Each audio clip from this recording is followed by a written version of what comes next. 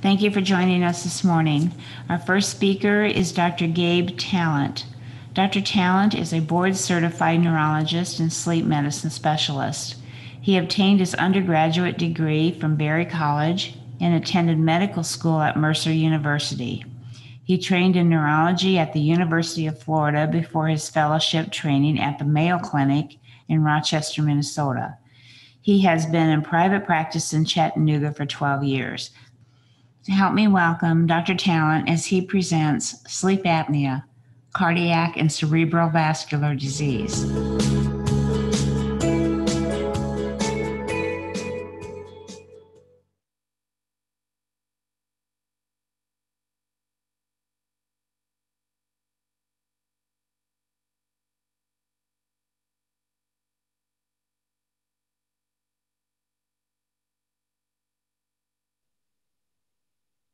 There. Good morning. Can everyone hear me? Oops. Let's see.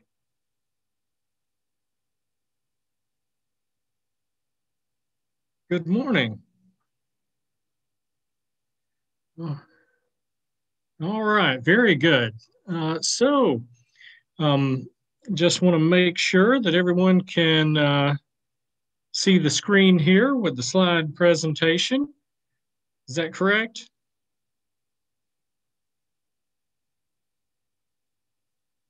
All right. Okay, so we'll go ahead and get started. Uh, I wanted to talk with you this morning about sleep apnea and cardiac and cerebrovascular implications and impact. Um, and I think we'll have a few minutes toward the end for some uh, questions. Uh, this is a, a, sort of a statistical type uh, presentation, so there are a lot of numbers, so I apologize for that, but uh, don't worry about remembering them. You can always refer back to this. Uh, I have no associations or affiliations with industry to disclose. We'll go quickly through the first few slides because much of this is uh, already what most of you know. with um, Obstructive sleep apnea, of course, we all know it's the repetitive upper airway obstructions leading to desaturations and Dr. Uh, sequ- Dr. Talent, uh, this yes, is, ma'am. This is Candy. Um, we can't see any of your slides. We're just seeing uh, a black screen. Okay, I clicked share. Um, let me see what I might have uh, not clicked here. I clicked share screen. Um, there we go. I, I redid that. Okay, so sorry. Thank you. Oh, Thank you for letting me know. Sure. Mm-hmm. Um, and now everyone can see the slides. I believe they can. Okay. All right. So very good. And just in terms of uh, sleep apnea, of course, uh, the impact, we're, we're really still discovering just how uh, prominent that is. It's estimated that about 54 million people have obstructive sleep apnea, uh, 37% of the US adult population, and 18% has moderate to severe obstructive sleep apnea. Dr. Talent, let me, let me interrupt you again. Um, what should we see on your slides right now? There is uh, it says obstructive sleep apnea and yeah. it goes over some of the statistics. All we're seeing is encore health care logo.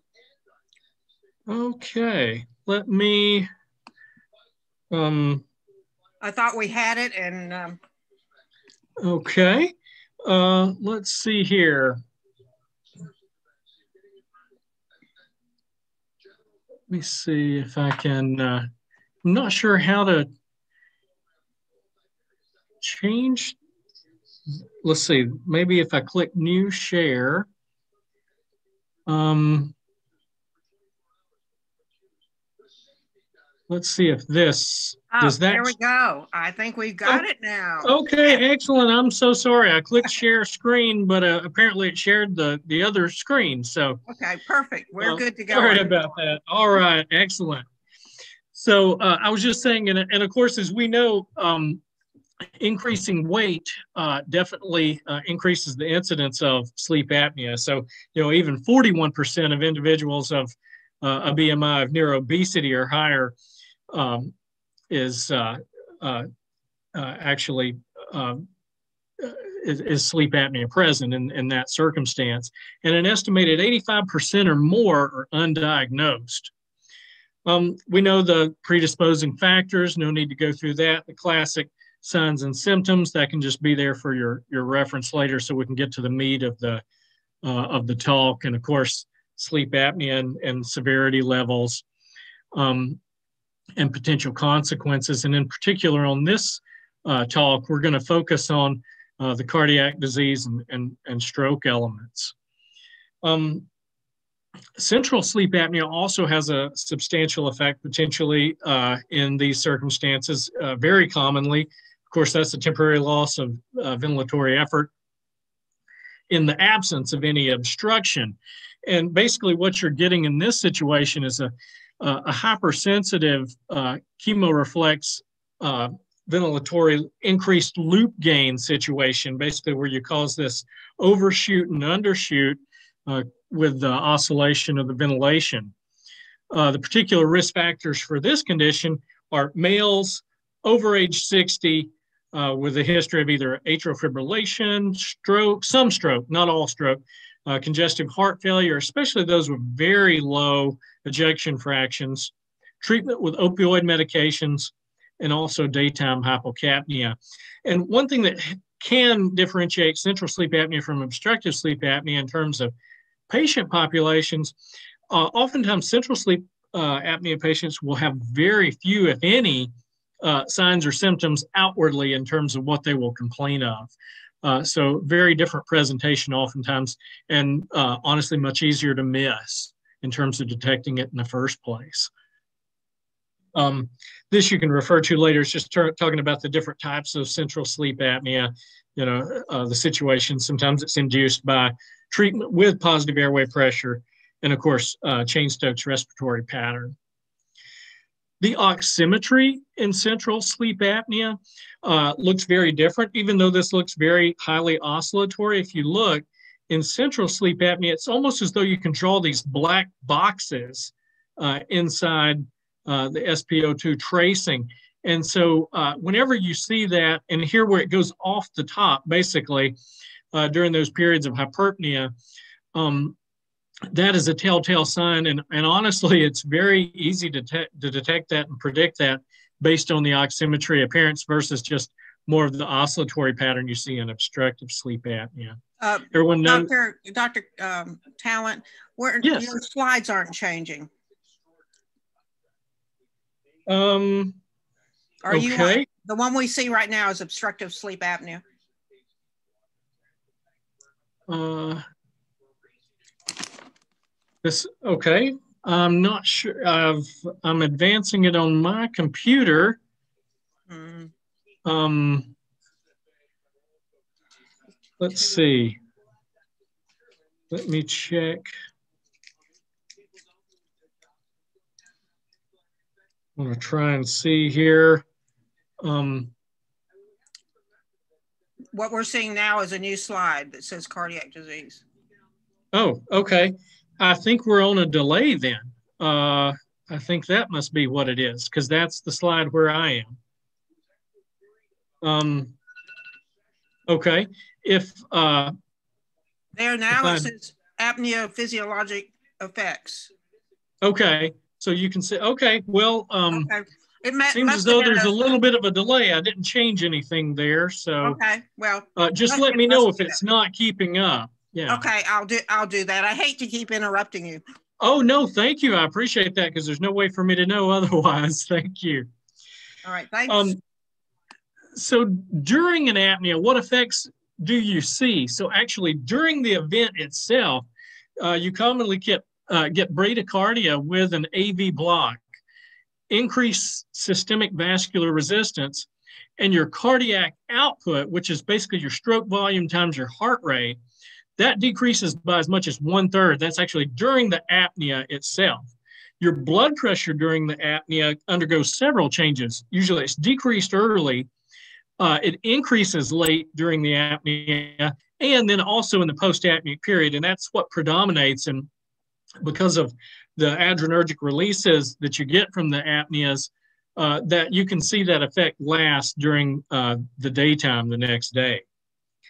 Usually after the events, you get an increase in heart rate and your cardiac output increases by 10 to 15%. So you can see just drastic changes there uh, associated with the actual event, uh, both during and afterward. You get you get decreased fibrinolysis and increased fibrinogen and platelet aggregation. So the net result of all those is basically pro-clotting. So you can imagine how obviously that will impact uh, cardiovascular and cerebrovascular disease. Um, let's turn our attention to congestive heart failure for a moment. Does everyone, did the screen advance there? Yes, sir, it did. Thank you. Okay, very good. Just wanted to make sure. Um, so, uh, with congestive heart failure, uh, you can get progression of this condition with both obstructive sleep apnea and central sleep apnea.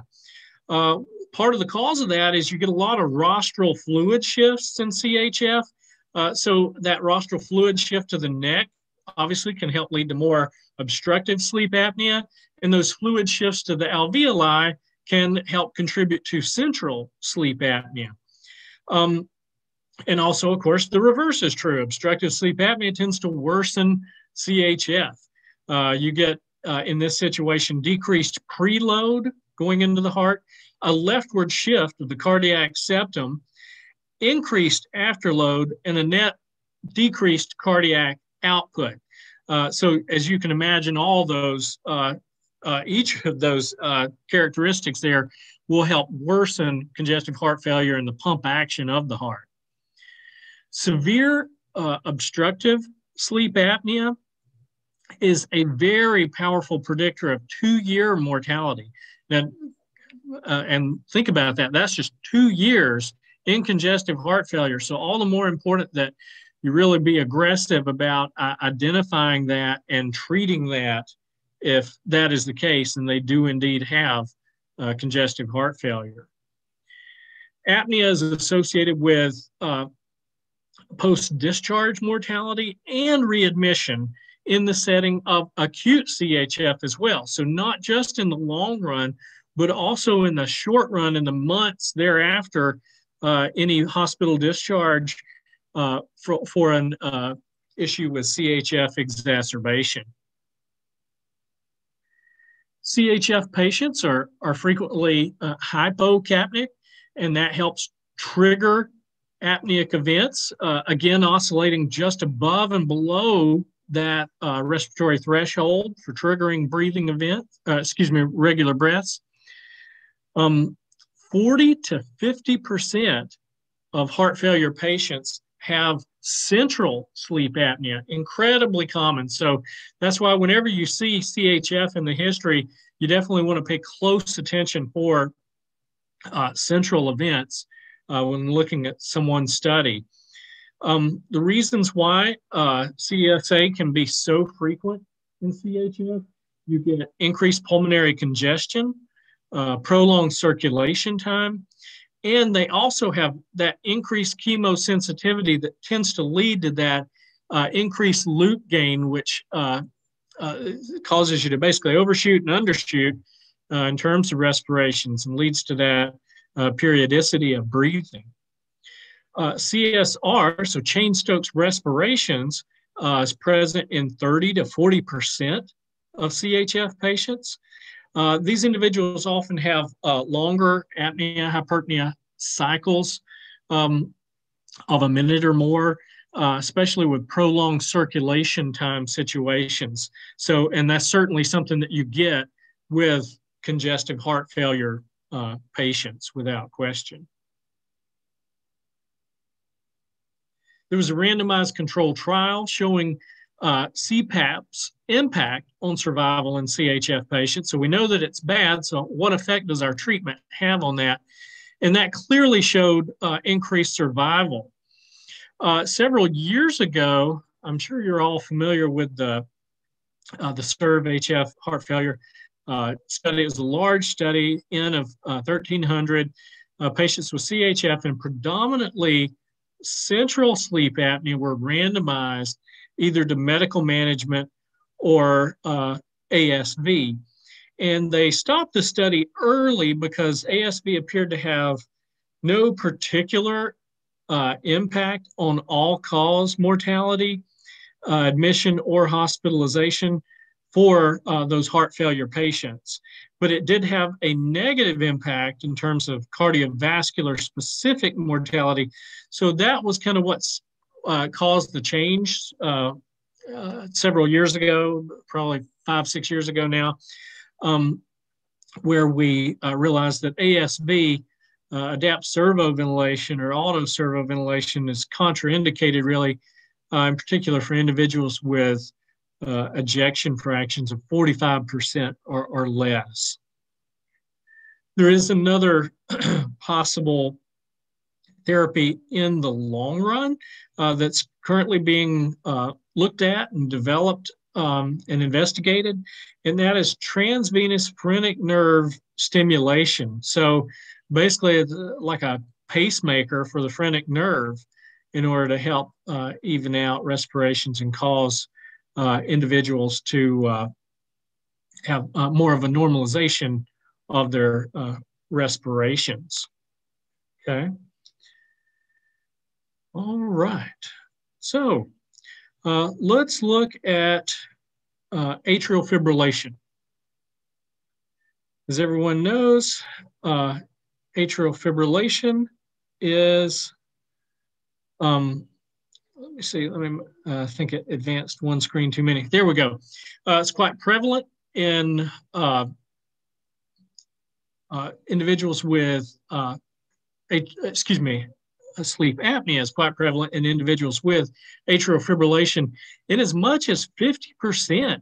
And that, and you'll notice that in the clinic, it's very common uh, when you're uh, evaluating patients with a history of uh, atrial fibrillation that are referred over by cardiology um, because they're so concerned about that being one of the main factors that keeps throwing people back into AFib uh, more far more often than not you detect it. So you know maybe present in 50%, but of those individuals getting referred, it feels like it's closer to 80 or 90%. Um, uh, this is projected to affect as many as 10 million people by 2050. So obviously, it's only going to get to be more, more common. And some of the mechanisms by which sleep apnea are increasing in inflammation, uh, intrathoracic pressures, and CO2 levels. Uh, also, you get uh, increased fibrosis uh, within the heart, and that leads to both structural and electrical remodeling. So um, you can get interference uh, with that normal electrical conduction through the heart and that tends to lead to more atrial fibrillation. Um, years ago in the sleep heart health study, there was a strong association between uh, sleep apnea and both atrial and ventricular arrhythmias. Uh, there was a two to five uh, fold increase of atrial fibrillation if someone had severe obstructive sleep apnea and a two to three fold uh, uh, odds of atrial fibrillation if the individual had central sleep apnea. All right, so uh, with uh, atrial fibrillation, it definitely seems to be associated with the increasing degree of hypoxia. So in other words, you know, of course, the, the, the lower that SpO2 nadir gets and stays and, and, and frequently dips too, along with the sleep apnea severity, um, uh, those definitely are uh, correlated with prevalence of atrial fibrillation. So uh, as with as with much that is correlated with sleep apnea, the, the worse it is uh, for the apnea, the worse it is for the, the other associated condition.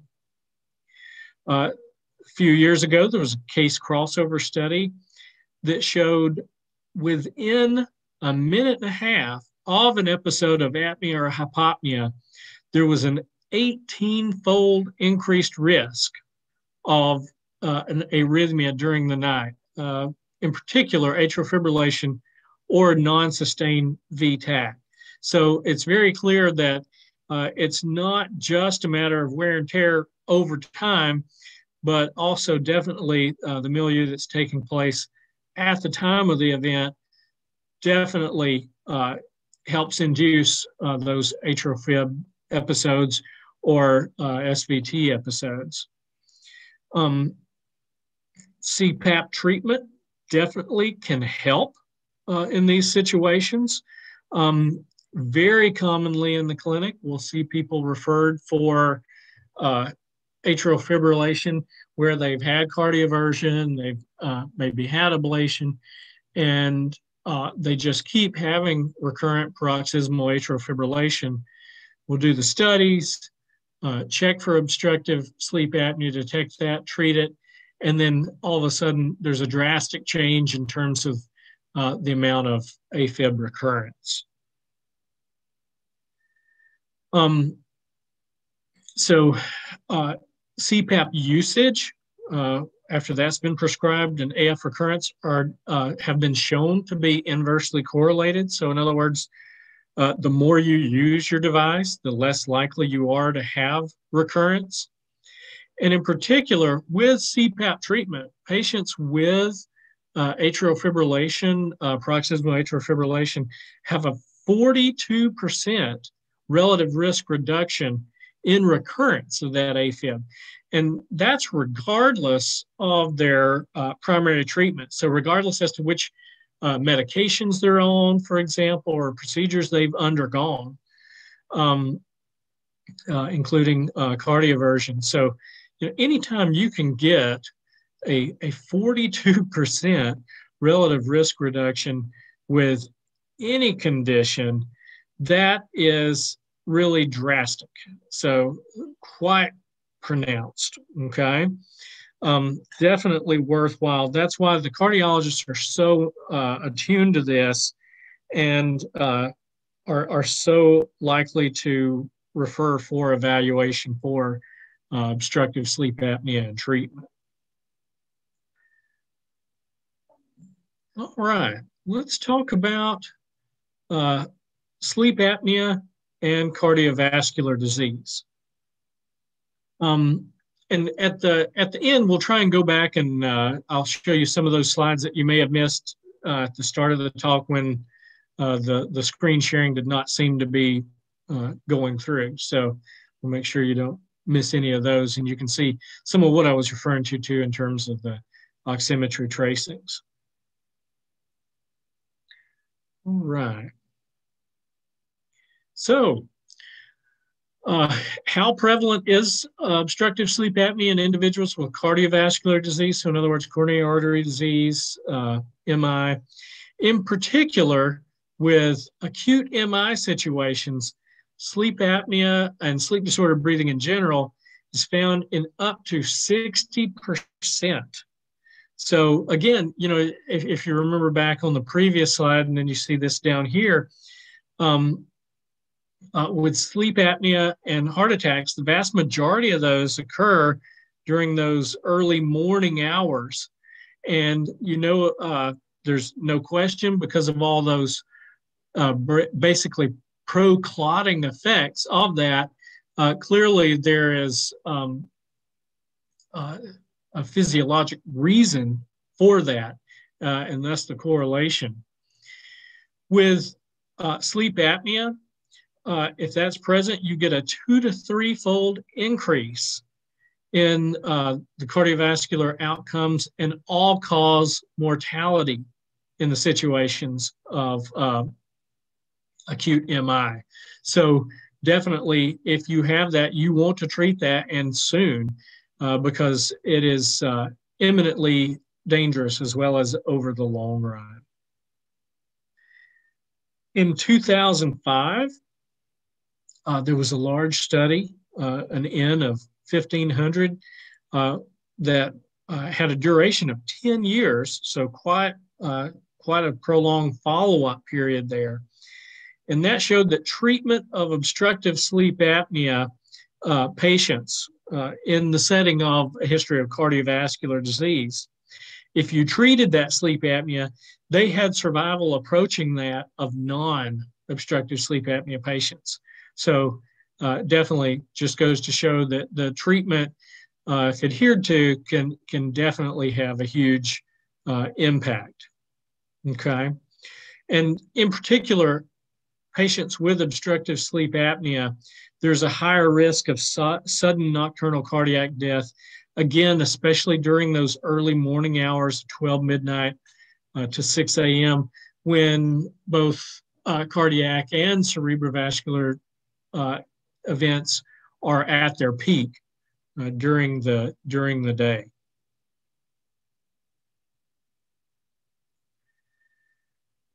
Sleep apnea that's moderate to severe uh, is uh, even more associated with worse outcomes after heart attack. Uh, you get less myocardial salvage. In other words, um, basically, uh, uh, heart tissue, cardiac tissue itself, where it improves after the event, and you get less reduction of the actual infarct size. Uh, so clearly far less recovery and also less recovery of their ejection fraction if uh, that is affected by the, the uh, severity of the heart attack. Um, there's, uh, there's one thing that's debated, and I threw this on here kind of as food for thought. Um, th this is certainly not a settled issue, but one thing that's uh, that, that people have posed is the question of poor outcomes in the setting of acute myocardial infarction versus is there anything uh, regarding increased collateral development and ischemic preconditioning from those periods of intermittent hypoxia that you get uh, with apneic episodes? Um, at present, my opinion is that even though, yes, you may get some degree of intermittent hypoxia uh, leading to increased collateral development. I don't think that's uh, to the degree that it um, is in any way, of course, advantageous. Advantageous.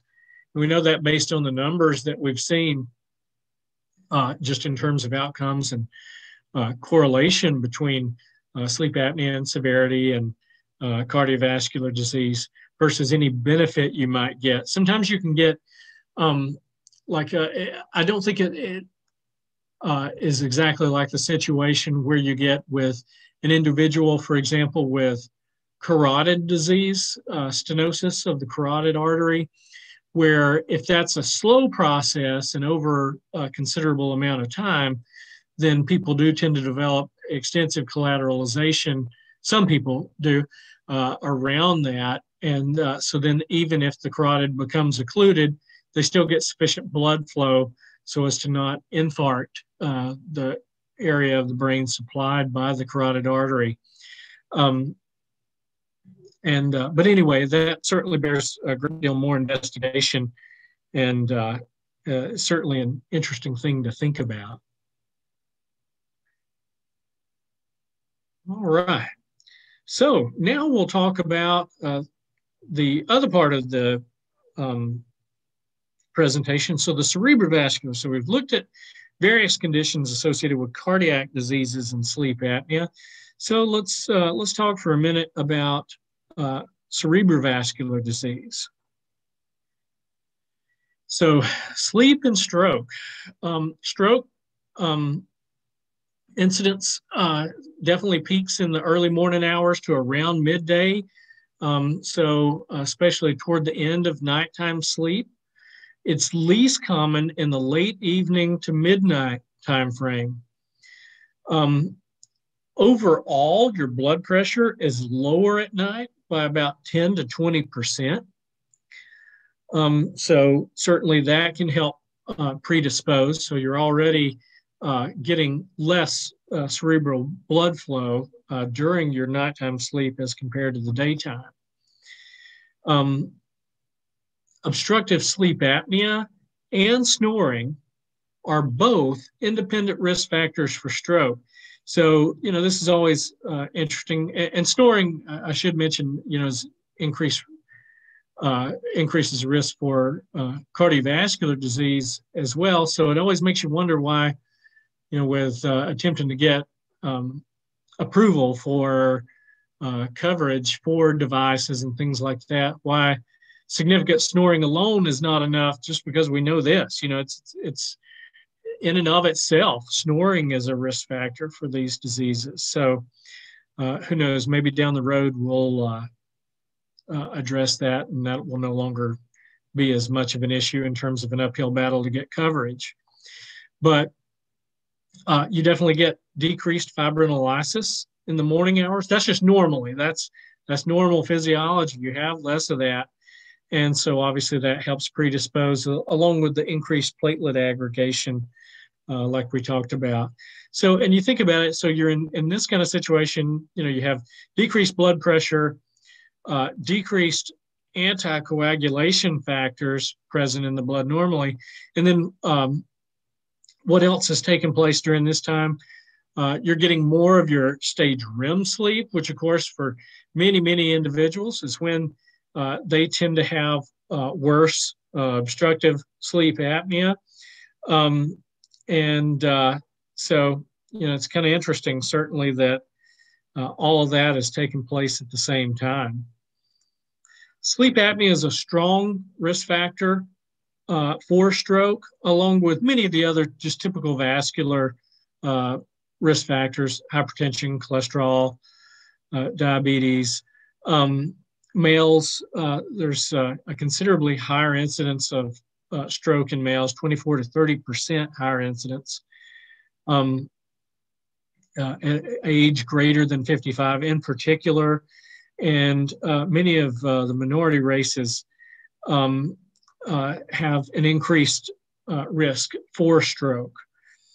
Um, and uh, so that's for your reference for later. So how common is it? Uh, it's, it's definitely quite common in ischemic stroke patients.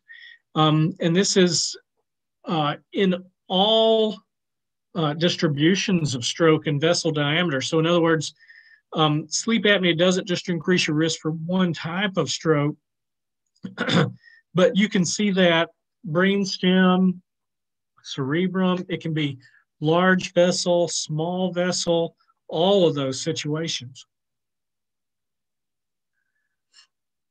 And there was one study that looked at the incidence and found that an apnea hypopnea index of 10 or higher was found in 60% of the individuals with stroke versus 20% of the control group. Excuse me. So, absolutely shows that um, those are uh, correlated. Um, snoring and obstructive sleep apnea are also associated with systemic hypertension. So uh, I just throw that in there to illustrate that it's not just a one-to-one. Many of these, you know, affect many other situations that help further increase stroke risk, uh, and for that matter, cardiovascular risk as well. Individuals with sleep apnea have a higher mortality after stroke. Um, and uh, excuse me, I'm sorry, I've got to get a quick drink of water. Sorry about that. Um, and what you get is with with those breathing events, all those repetitive adrenergic releases, uh, where you get the norepinephrine uh, prominently circulating throughout the system, you get a lot of vessel constriction and damage uh, uh, to that intima or the, especially the inner layers of the blood vessels, causing thicker vessel walls, which of course further narrows uh, the lumens of those vessels and predisposes to uh, things like stroke and heart attack. Um, okay. So um, you get a lot of hemodynamic changes uh, where it compounds uh, the situation where in the early morning hours, uh, you get that predisposed situation to having more procoagulation or, or clotting. And uh, the presence of sleep apnea compounds that, uh, can help uh, lead to decreased fibrinolysis, reduced cerebral perfusion, and poor auto regulation where uh, the blood vessels themselves uh, adjust and adapt uh, to help control blood flow uh, to different parts of the brain. Um, the intermittent hypoxia with sleep apnea uh, causes a lot of uh, inflammation, that endothelial damage, prothrombotic effects, and vasoconstriction itself. Um, again, uh, with all the uh, adrenergic releases that you get. Uh, the apneic events, uh, again, acutely lead to uh, changes, much like we saw with uh, cardiac effects. the apnea events themselves lead to an approximate 15 to 20% reduction in cerebral blood flow. As sleep apnea severity increases, so does stroke risk. Uh, common theme, of course, uh, that we're noticing. So just reinforces what we commonly say in clinic, you know, that, you know, the worse it is, the more risk it poses, obviously.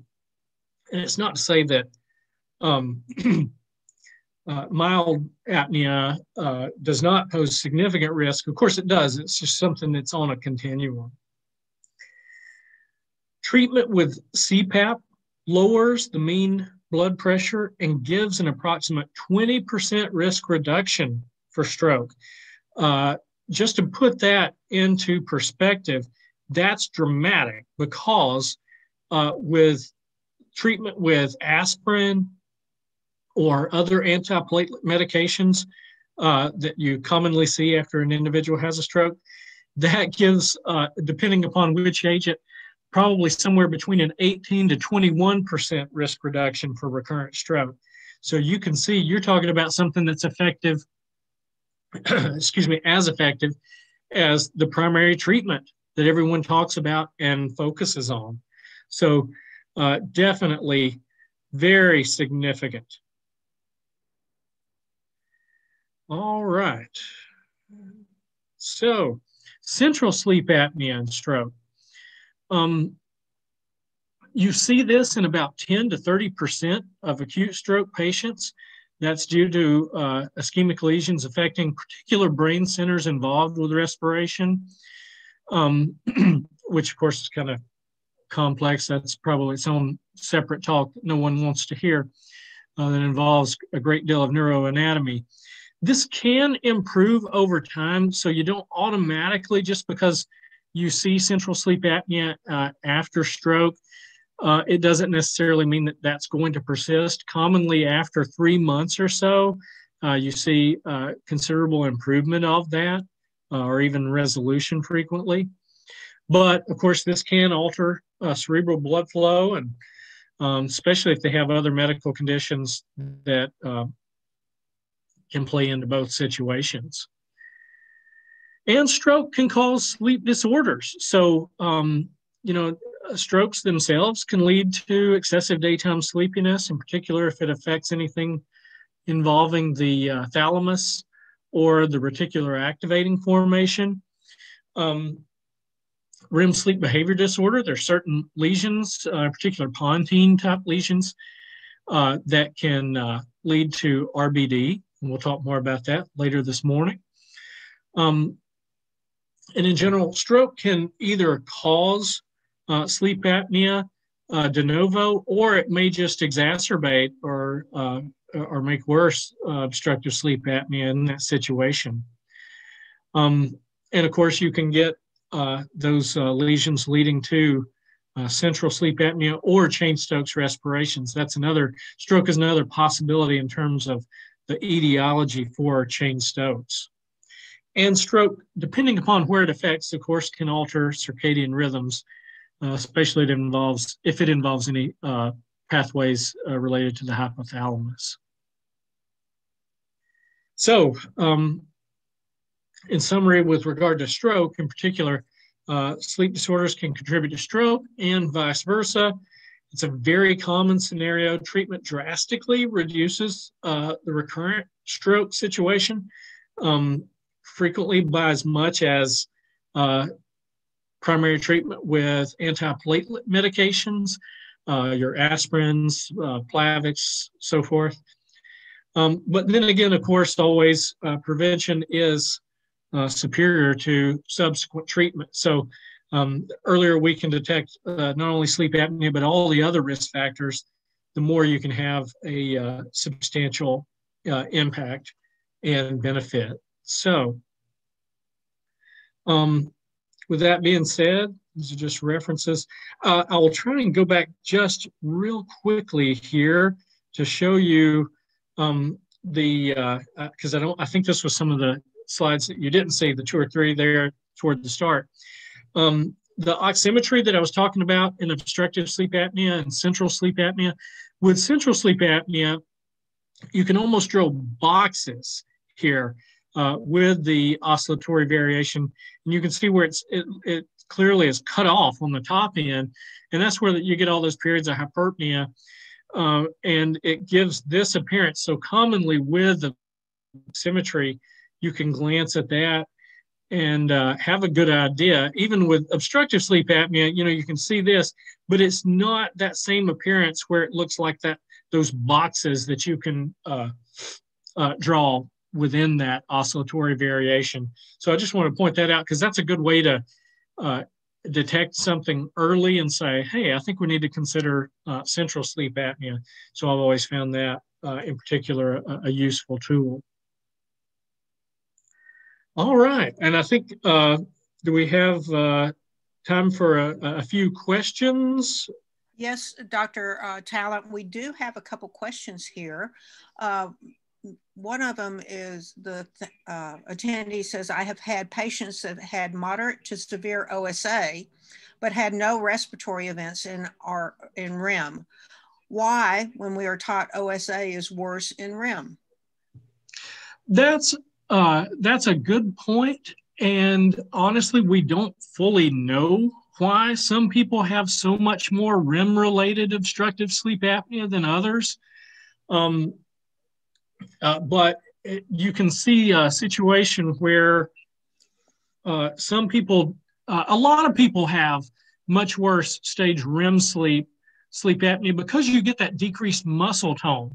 So, you know, you can get situations where you get more obstruction because uh, really during stage REM, all of your skeletal muscle is uh, in a relaxed state. So you don't get the accessory muscles of breathing. You really just got your diaphragm doing your work.